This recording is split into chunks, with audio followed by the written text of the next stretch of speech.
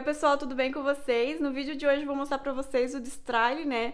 O desapego e a organização do meu armário. Então eu tô precisando desapegar de algumas peças porque eu adquiri algumas roupas novas. Então eu vou aproveitar para mostrar tudo pra vocês, vou aproveitar para mudar também o meu armário, talvez guardar algumas roupas de verão que eu não vou usar agora, que já começou o outono. Vou mostrar pra vocês como é que tá o meu armário por dentro. Então, meu guarda-roupa é assim, essa aqui é a parte dos cabideiros, onde ficam as minhas jaquetas, ficam as minhas blusinhas de pendurar, minhas camisas, cardigans, enfim, tem bastante coisa misturada aqui. Aqui embaixo eu coloquei a minha caixinha de maquiagem, que eu não tô usando com tanta frequência, eu coloco aqui dentro. Tem aqui no canal também o desapego das minhas maquiagens, onde eu mostrei tudo que eu tenho para vocês. Aqui do lado tá uma caixinha com joias minhas. Esse aqui tá bem desorganizado, eu quero muito comprar uma caixinha de joias. Então, se vocês sabem onde vende, me indica que eu quero comprar. E depois eu posso fazer um tour mostrando todas as minhas joias para vocês. E aqui do outro lado tem três cintinhos, que eu não uso com tanta frequência, então eu deixo aqui. Aqui embaixo é o calceiro, onde tem calças minhas e do meu marido também. Então essa parte aqui é toda minha e as calças dele estão aqui. E aqui embaixo do calceiro a gente colocou uma mala de viagem de mão, que a gente usa com uma certa frequência. E lá em cima tem as roupas de cama, edredom, que a gente não estava usando até então, mas a gente vai tirar tudo, colocar no sol, lavar o que der para lavar também. E então desse lado era isso, agora eu vou mostrar o outro lado para vocês. O outro lado do guarda-roupa é do meu marido, né, o cabideiro dele, então aqui tem as camisas dele, a jaqueta de frio dele, bermudas que ele deixa pendurado também algumas roupas aqui de ficar mais em casa, boné, cinto. Essa aqui é minha bolsinha de maquiagem e o meu pente. Lá em cima tem uma televisão e atrás dela tem uma mala de viagem igual aquela. E embaixo dos cabides tem as gavetas. Essa minha primeira gaveta é de calcinha e sutiã. Essa aqui é de t-shirt, shorts, enfim, tá tudo bem misturado aqui. É uma gaveta que eu quero organizar bem. Aqui embaixo é uma gaveta do meu marido, onde tem é, roupas íntimas também e t-shirt dele.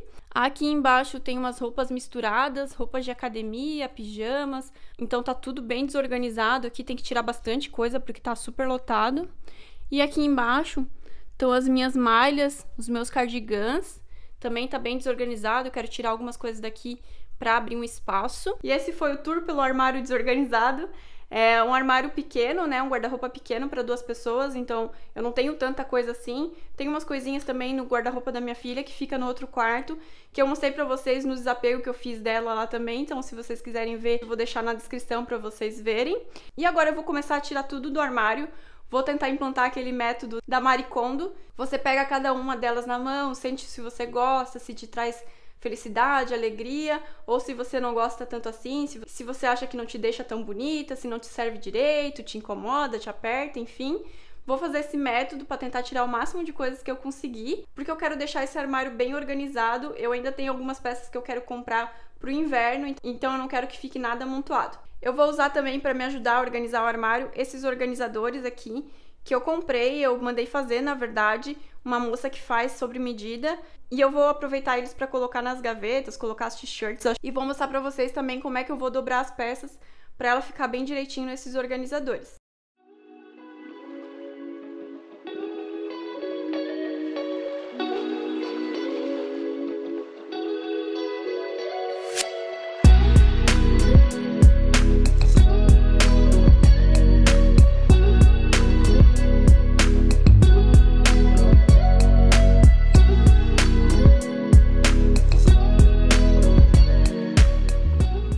Pronto, terminei de tirar tudo do armário.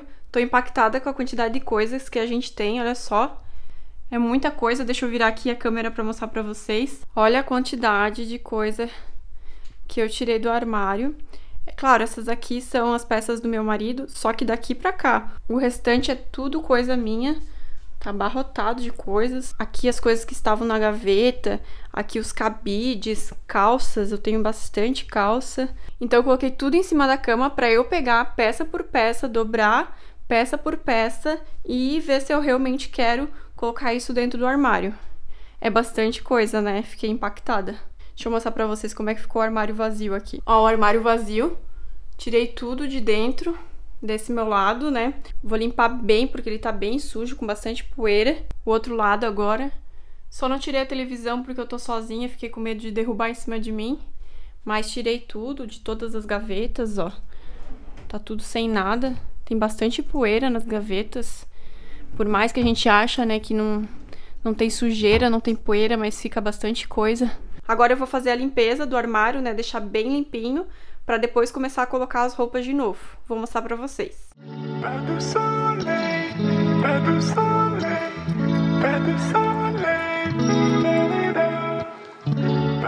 Terminei de limpar tudo agora, tá tudo bem limpinho, as gavetas estão todas limpinhas, o armário inteiro tá limpinho.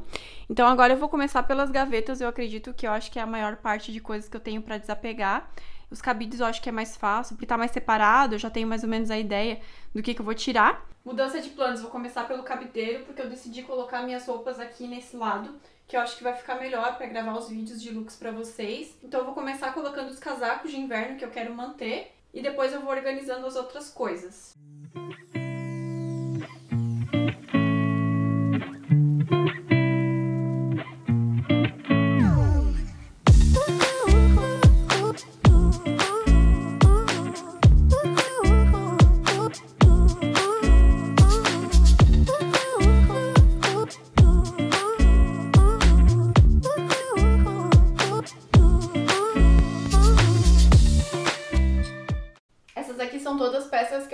No Enjoei para vender, porque são todas roupas boas que eu praticamente nem usei, usei uma vez só, por N motivos, né? Porque eu não gosto da cor, da estampa, não caiu bem no meu corpo, enfim.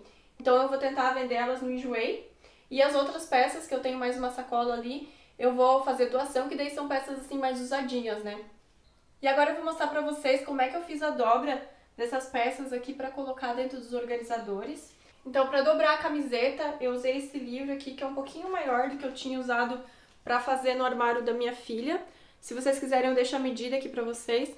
Então, eu fiz da mesma forma, né? Coloquei o livro aqui no centro da gola, virei a primeira parte para esse lado aqui, ajustei aqui embaixo, né, para ficar da mesma direção, dobrei a manguinha e do outro lado a mesma coisa. Ajustei aqui, dobrei a manguinha tiro o livro, daí eu dou uma dobradinha aqui, na altura que eu quero deixar o organizador. A minha gaveta, como ela tem altura pequena, eu deixo mais ou menos a minha mão fechada assim. Aí eu dobro essa, essa primeira parte aqui da gola também para ficar mais bonitinho. E venho dobrando o restante da camiseta até ela virar assim uma trouxinha. Daí eu coloco no organizador. A cueca é igual os shorts, assim, uma calça. Então eu dobro primeiro no meio, arrumo aqui o gavião, né?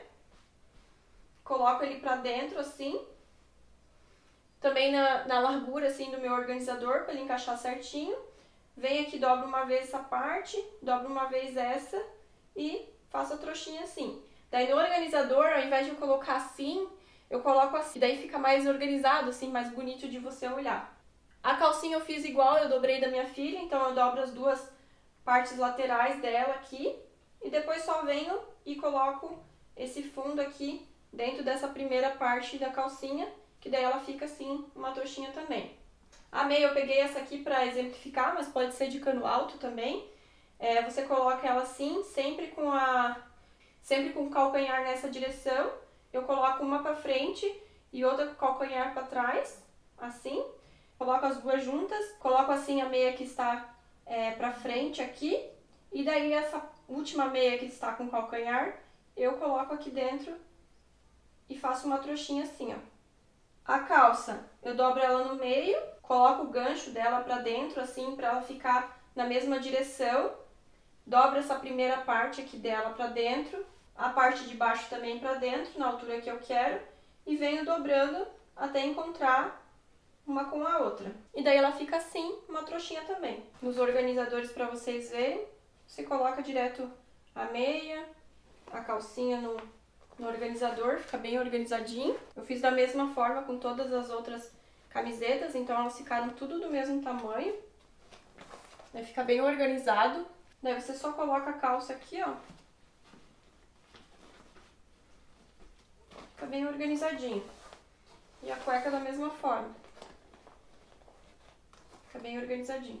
Finalmente terminei de arrumar tudo, guarda-roupa, organizar tudo, limpar tudo. Achei que não fosse acabar nunca aquela bagunça em cima da cama. Realmente esse método da Marie Kondo de você tirar tudo do armário, você olhar peça por peça, é bem trabalhoso, mas é bem significativo, porque você analisa se realmente aquela peça ali vale a pena manter no armário, se ela não tá ocupando espaço. Resumindo, eu gostei bastante de fazer, vou fazer mais vezes dessa forma. E agora eu quero mostrar para vocês aqui como é que ficou o lado do meu marido, que a gente trocou de lado, né? Eu coloquei as roupas dele aqui onde estavam as minhas, então ficaram todas as camisas. Vocês estão percebendo aí que ele tem uma leve queda pelo xadrez, né? Ele ama xadrez. Aqui daí ficaram as calças, daí ficaram as minhas e as dele. Eu deixei em cada calceiro desse duas calças. Então ficou essa aqui minha branca, essa bege de linho aqui, essa minha social bege também, essa aqui de veludo cotelê, essas duas jeans mais claras que são da Zara, essa aqui que eu comprei recentemente, um azul mais escuro, essa mão da Riachuelo e mais essa skinny preta e mais essa calça de corino preta também. Eu fiquei com 10 peças no armário. Tirei daqui só as duas pantacur que eu não vou usar agora no inverno. Então, ao todo, eu tenho 12 calças, né? Incluindo as pantacur. E aqui desse lado daí ficaram as calças do meu marido. Ele tem mais uma que tá lavando. Aqui embaixo eu mantive a mala de viagem, né? Eu deixei dentro da mala as roupas de verão. Deixei elas dentro de uma sacola.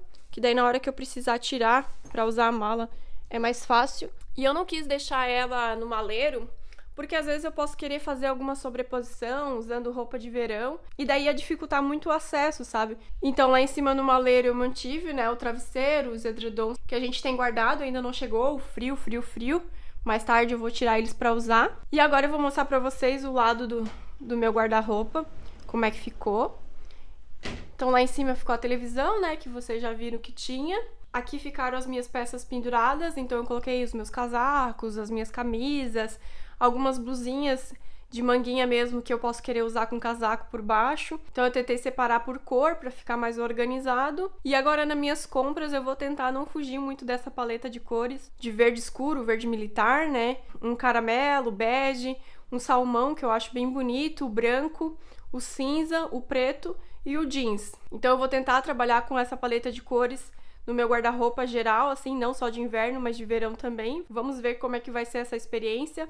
Na verdade, assim, eu não comprei todas essas peças agora, vocês já sabem que eu tenho essas peças há muito tempo, mas eu comecei a perceber que eu gostava muito mais de usar essas peças, cores mais neutras. Eu acho que a única estampa que eu tenho é aquele poá ali no guarda-roupa, o resto é tudo neutro só com um pouquinho de textura, né? Um fio diferente. Mas eu me identifico muito com esses tons neutros, eu gosto bastante. Talvez eu ainda tô estudando bastante para ver se eu vou começar a comprar acessórios com tons mais fortes. Ou se eu vou manter também os acessórios, né, bolsa, sapato, nos tons mais neutros, como a paleta do meu guarda-roupa. E agora eu vou mostrar pra vocês como é que ficaram as gavetas. Eu mudei a ordem das gavetas. Essa aqui era a minha gaveta de lingeries, eu deixei aqui as minhas maquiagens. Então aqui tem os cremes de rosto, as maquiagens que eu uso no dia a dia, algumas já estão acabando, tipo essa aqui provavelmente não vai dar por mais uma semana, essa aqui por mais um mês. Então eu vou usar tudo que tem aqui para depois começar a usar essas outras maquiagens aqui da caixa, porque eu não quero deixar uma caixa de maquiagens reserva e outra em uso. Eu quero deixar todas as minhas maquiagens, um produto de cada, um pó, uma máscara de cílios, uma base, um protetor solar enfim, eu não quero ter vários do mesmo tipo. Aqui continuaram os meus acessórios, mas eu tentei dar uma organizada, então eu deixei os meus anéisinhos aqui em cima. E aqui na parte de baixo eu deixei os meus colarzinhos, mas ainda não tá da forma que eu gostaria, né? Eu quero comprar uma caixinha de joias para colocar tudo bem organizadinho. Aqui estão os meus óculos, óculos de grau e óculos de sol. Aqui ficaram alguns dos meus pijamas. Eu não tirei todos, eu queria tirar todos porque eu realmente tô sem e ainda não encontrei nenhum pijama que eu gostasse, que fosse quentinho e não fizesse tanto volume. Então eu mantive esses aqui mais velhinhos para quebrar um galho até eu comprar os novos. Aqui na segunda gaveta daí ficou a gaveta de lingeries, né? Então tem sutiãs, tem calcinhas, meias. Tentei dar uma separada por cor. Aqui ficaram as t-shirts que eu uso no dia a dia, que provavelmente eu vou usar com casaco. Então ficaram todas as minhas t-shirts. Só tirei as blusinhas de alcinha, as regatas que são mais frescas, que eu não vou usar. E mantive as t-shirts. Aqui ficaram algumas bermudinhas, saia, que são de cores que eu acho que ficaria bom no inverno, assim, fazer looks. Então eu mantive aqui para tentar fazer uns looks diferentes. Aqui ficaram as roupas do meu marido, então ficaram as camisetas dele, cueca, meia. E aqui embaixo, por último, ficaram as minhas malhas. e a minha roupa de academia. Então esses aqui são os casaquinhos de fio que eu tenho, né? Alguns cardigans e as roupinhas de academia. Eu não tinha mais organizadores para colocar nessas gavetas aqui. Quero ver se eu compro mais dois para essa gaveta e mais um para essa gaveta aqui, para ficar bem organizadinho. E é isso, do meu armário é isso. Agora eu vou mostrar para vocês tudo que eu tirei, que foram essas sacolas que estão aqui, ó. Essa aqui é uma sacola de roupas que estão muito boas ainda, vestido que eu não tava usando, que se eu quiser vender no Enjoei eu consigo. E essa aqui é uma sacola de roupas mais usadinhas, assim que eu vou fazer doação. E aqui foram os cabides que saíram, sobraram bastante cabides. Eu tinha cabides que eu tava colocando duas peças porque eu não tinha mais cabide, tava me negando de comprar cabide porque eu sabia que eu queria fazer destralhe. E assim, ó, sobre essas peças aqui que eu vou colocar no Enjoei, se vocês tiverem interesse que eu faça um vídeo mostrando para vocês as peças, motivo pelo qual eu me desfiz, são roupas realmente boas, mas que às vezes não cai bem no meu corpo, não combina muito com o meu estilo. Se vocês quiserem eu mostro para vocês, eu tenho mais uma sacola dessa aqui de roupas bem novinhas assim, que eu tava guardando para colocar no Enjoei. E comenta aqui embaixo se vocês querem que eu mostre também o destralhe dos meus sapatos que eu tô pretendendo fazer ali na minha sapateira que fica aqui do lado do guarda-roupa. Eu quero tirar bastante sapato que também estão em bom estado, mas que não combinam mais comigo. É isso, pessoal. Esse foi o vídeo de destralhe e organização do meu armário.